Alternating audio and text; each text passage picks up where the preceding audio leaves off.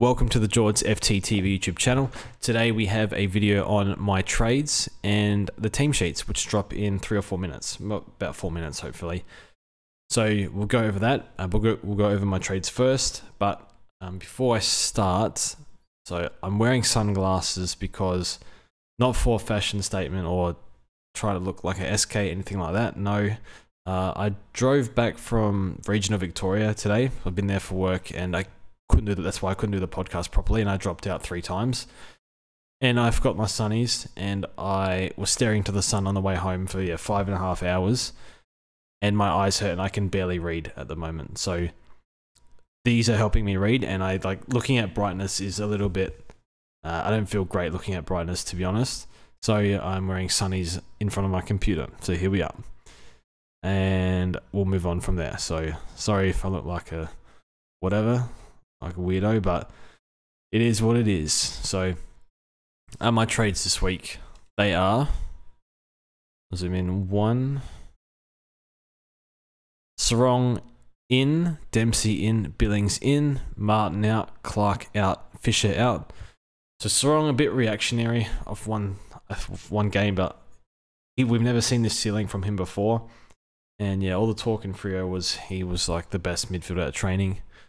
So yeah, watch his highlights. Very impressed. Sort of like left the contest very quickly, and even like when he was getting handballs out, he was trying to get it back as well. So uh, looked really good. Didn't only saw highlights, so I didn't actually watch the game. But yeah, a bit aggressive. Could be the wrong move. I don't know. But North this week. Be care. I think we got to be careful for Liam Shiels if they want to tag him. If they like, they almost have to do something about him. But can they actually do it? Liam Shiels is 33 now, so I don't know how that will work. And if he takes a CBA role, when they've got to give it to the kids, Dempsey, I like. Tom Berry's pretty good too. I think they're both fine picks. Uh, I think I need to field someone in round three because I've got quite a few out. So I'm hoping Dempsey will actually get me points against Hawthorn that round. Whereas I've got Cadman, I've got Flanders, I've got Tom Green. Um, maybe someone else I don't remember. No, I can't remember. But anyway, Dempsey I liked, and I started him and fielded him in in fantasy actually, which is a bit lucky, but uh, I liked him, so he's in. Jack Billings, I like. I think he's because he's done 85s in the past.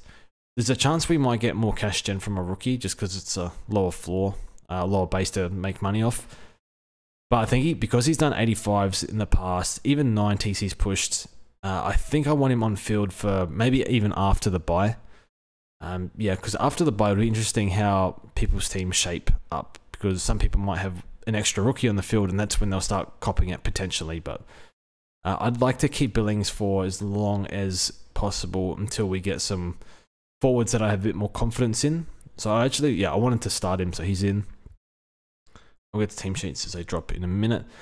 Uh, Nick Martin and Fisher, I think because they're speculative, and I think there were warning signs in the preseason. Even last year with Fisher, wasn't impressed with him at all. But I figured North roll, North halfback, just farm points. But with Fisher, like he could hold and he could bounce back this week, no doubt, because he was up and down last year. I think he'll be much be better at Marvel. But I look at Sheezel, I look at Scott, McKercher, Fisher. I think Fisher will be the last one to take kick-ins out of those guys. So it's going to be hard to push 85 90 when you're sharing that much and you're yeah the, the the defense is a little bit unbalanced to me i don't know like so if something has to give maybe it's fisher plus significant injury risk. I did start him, so it's a bit of a backflip, but um, yeah, I think it, like I need to free up money somewhere, and I like Billings from the start, so that is that. Jhye Clark, you could definitely give another week, but I'm just trying to free up my options for next week because I don't have McKercher still, and he will have to come in next week, as well as Ambrosio.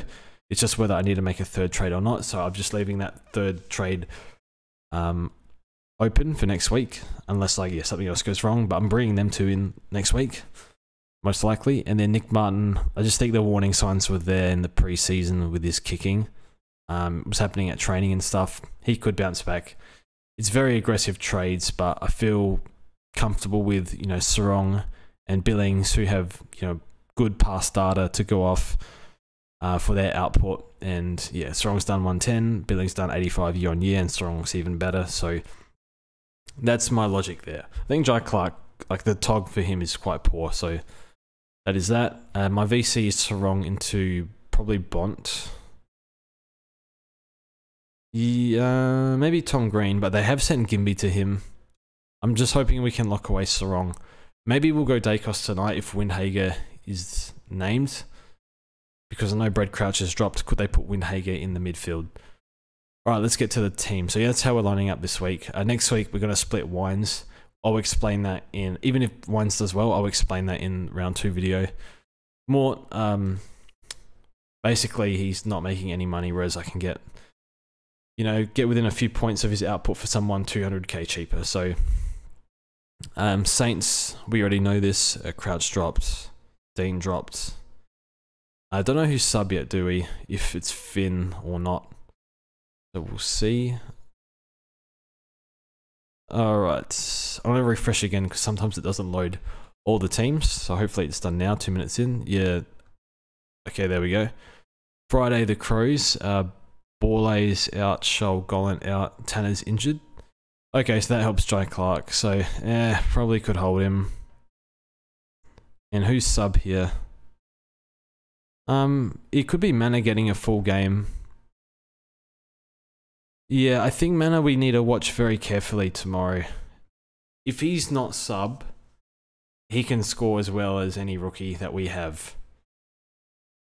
Clearly with his VFL numbers 110 playing mid and forward, which is insane. So, yeah, although it is VFL, so be careful for him. Clark named on ball. I feel like I should give him another week. Uh, I just don't know what else to trade out, to be honest. So, yeah, I think the Tog and the sub risk is pretty alarming, but he's only cheap and could, he could be a slow burn. You know, I could be throwing away someone that makes 150k in, in eight weeks. So, pretty dangerous game to trade him, I think. I think you, I think hold if you can, but if you've like seen much better opportunity, then I think that's fine. A bit on the fence boosting him up to Dempsey, to be honest. Not sure. Um, Crows, Keane Walker, Edward McHenry. Interesting. I've never seen him named that. Used to always be Ned, I think. So who's sub here? Bear on the bench doesn't look great, does it? Uh, Burgess is still playing. That's fine. I think McHenry or maybe... I think they like Murphy though. Maybe McHenry sub. Surely not Berry. That would be painful. Hmm. I don't think so. Maybe that's Cope. Thought he played okay, but Oh, excellent. Liam Shiels out. That's good for Serong, I guess. Uh, North and Freo. Let's see what's happening here. Erasmus omitted. Cox injured. Warner. McDonald in. Sorry, out. Tabner. Draper is a key defender rookie. Walker and O'Meara go to injured. So, Fish on the bench. Yeah, like Sheezel, Scott. Could they move McKercher up the ground? I feel like they need to do something with one of McKercher or Fisher if they want to keep Sheezel and Scott down back, because I know Sheezel probably a midfielder long term, but like he's just insane and he can he really settles that back line. So I yeah, I think they keep him there for now. Uh, what else do we notice here? Not much. I'm out on Fisher. Like this because interchange doesn't mean much, but um, I just don't see it with like he's third or fourth. I think. I think she's the one Scott are the top two, and then it's McKercher or or Fisher as the third or fourth. So I'm out on that. And yeah, Hughes, Pierce, Draper. So that's good for Luke Ryan. Hayden Young named defense. I think he's just stuffing around and playing games. Longmuir. I think he'll play midfield. Gee, they're freeing up Ryan up, and maybe Aisha Clark plays. One of them has to play lockdown, you would think. I think. I don't know. Sharp on the wing. I didn't see Sharp play, but apparently he was good. Uh, he was quite good a few years ago, but didn't love his preseason game. Brody emergency. That's yeah. Okay, we'll move on. Uh, Hawthorn versus Melbourne. Nothing really to see here. Petty in. Woden out. Um, Haw extended bench. I mean, I th think Petty's a forward. There's a forward for a forward. I think they'll play three tools. Um, who's sub? Maybe Windsor? Marty Hore's like that would not be a sub, surely not. A third defender as a sub, that sounds weird. I think Windsor can come in, provide some run. Windsor was good. He'd be stiff to be sub though, but who knows? Could be like someone else, like a Chandler, but it looks like Windsor if I had to guess. Mm, we'll see. Hawthorn, Brosu named back, but he played more up the ground, I think. Amon, they're just playing games here. I've got Amon in fantasy. I wish I didn't pick him. There's too many players that can distribute off halfback at the moment. It's annoying. Not, not much else to say. Not much else to see. I think people want to jump off Newcombe. I'm okay with that. He could come good. Oh, Billings named on bowl. I think that's probably cap. So yeah, they play their games with team sheets. So um, yeah, if you need to free up money, I think getting rid of Newcombe's fine. There's just too many good mids out there, but he'll probably bounce back. All right, Swans versus Essendon. Corey Warner in. Is he rookie price? No. Oh, yes, he is. I can't read, even with Sunny's on. Oh, it's a rookie for us. I swear, I thought he played last year, but maybe I'm imagining things.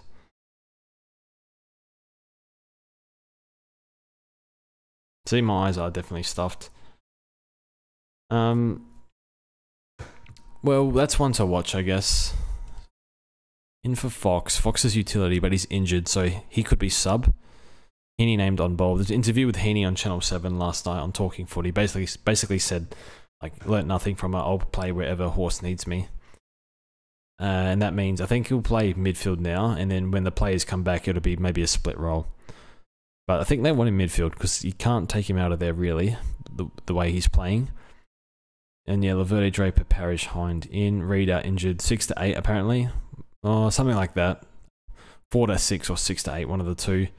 Redmond suspended, uh, Guelfi and Jones. This Parish is in means that you probably wouldn't want to jump on Perkins despite his good game with yeah, Parish, um, Merrett, Setterfield, probably the top three. So I think yeah, yeah, a bit stiff to take Perkins out because he was good. Um, not much else to see. Martin's still named halfback. I think he can hold if you want. I'm just trigger happy and want so I'm suspended. So these are Sunday teams. So these are kind of hard to read. Like these guys actually playing? Probably not. And then I think they said Walter Tate to debut. Maybe that's with Roses out. Who's this?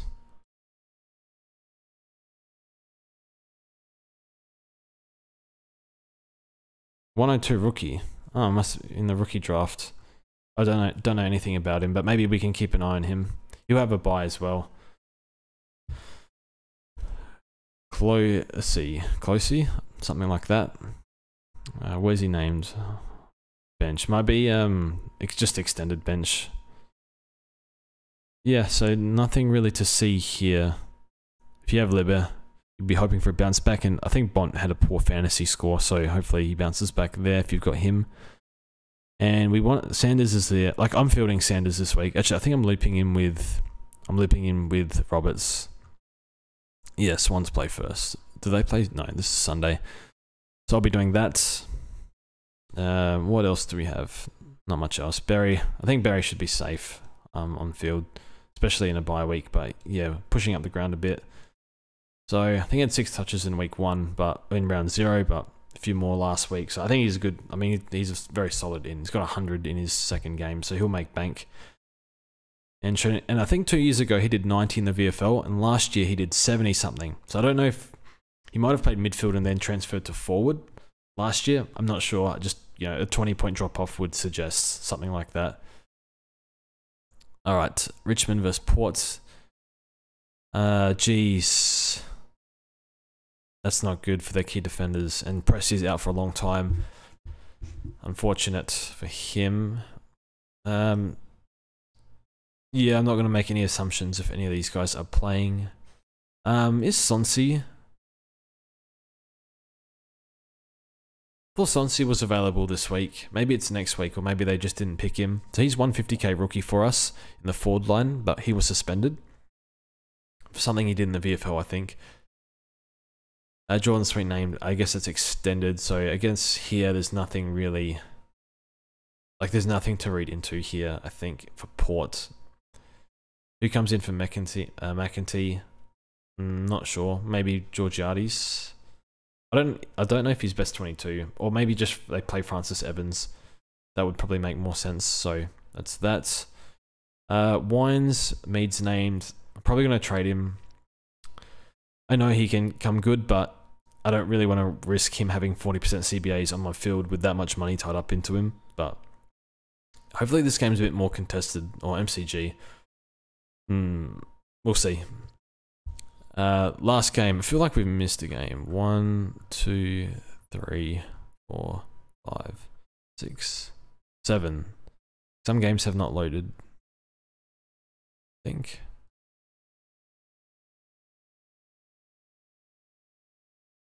Can I not count? One, two, three, four, five, six, seven, eight. Oh, there's a buy. My bad. Carlton and Brisbane. Uh, nothing here. And then here, Nick Haynes out for personal reasons. Pretty non-eventful teams, I think. Um, I don't think there's anything to discuss here. Barnett, if you've got him as a, I think Todd was going to debut. I think they said that.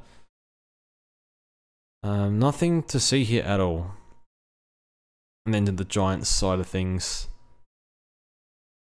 Where's Cadman? You like they have to play Cadman. You can't drop him. I think uh, it's O'Halloran, Thomas, Himmelberg, Cadman, Angwin, no, Peatling, no, McMullen, no, Keith, no, no. So I think that'll be the four. I don't know who will be sub. So I think the main one for me here, I think the good thing is no, uh, no Shiels if you like Serong, and then Shaun Mannagh, if he plays, I think they give him a full game. Let's have another look quickly. We'll find out. So this is one where we need to be on our toes for. Even um, like team sheets, like people jumped on a Jarryd Lyons, people jumped on Marty Hore and reacted quickly to that. So yeah, like I I would be shocked if they play Oisin Mullin ahead of Mannagh. So I, I would guess Mullin's sub and they play Mannagh in a full game. And Mannagh's job basically is to play out of his skin so they can't drop him to sub in the in the short term. So I don't really have an like if I'm getting McKercher and Dempsey, I guess this is why I'm getting rid of Clark because there's just too many other good players. And yeah, Dempsey's got this 96. It's in his average for one one game, but he just looks so good and look good in the VFL. Um, sorry, look good in the practice games too. So if Mannagh comes in, like I don't have a, I don't have anyone to get out for. I don't. Maybe I choose between um, McKercher and Mannagh. I don't know. And then uh, giving up McKercher, I'll just die watching him rack it up uncon uncontested. Uh, that's going to be a horrific anti-pod. So, and we need to get mass. That's why, like, if I split wines into someone, then get Reed to Massimo because there's no one making money in this slot. And Massimo with a 120 is going to make a lot of money off the bat and probably fieldable. So we'll get another look at Mass. Anyway, that's my own team. But yeah, I think the main takeout is like maybe potentially plan for Shaun Mannagh after, like not now, but after this game. And I dare say if you have him in fantasy, um, uh, no one cares about fantasy in my channel, I don't think. Maybe some people do. Oh, it's logged me out. Oh, it's because I'm on a different browser with less ads, so um yeah. Anyway, uh that's yeah, field Shaun Mannagh in fantasy if you've got him, I think. So that's what I'll be doing. But anyway, that's it from me. Thanks for watching and yeah, sorry about the sunnies, but we'll see you in the next one.